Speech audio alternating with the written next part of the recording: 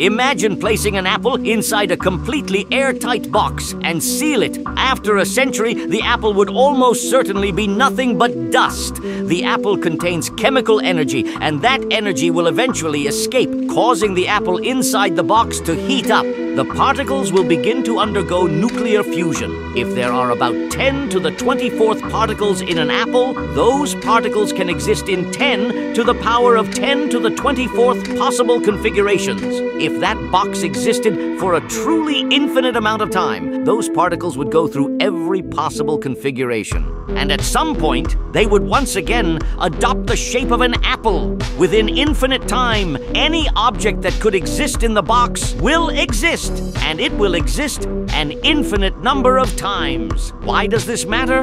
Because the universe could be that box.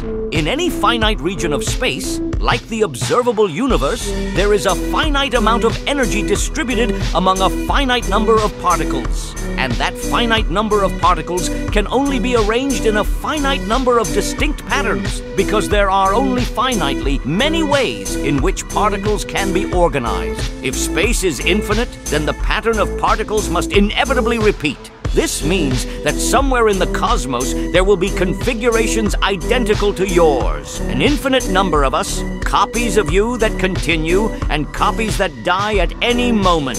Even if these copies existed, they would be so far away, far beyond the cosmological horizon, that we could never reach them.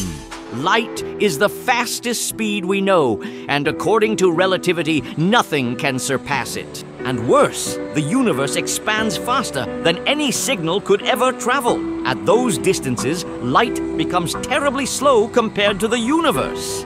So if we live in an infinite space, maybe we've already been here before. Perhaps we are occurring right now, replicated across the cosmos. But from our point of view, we are alone inside our own box.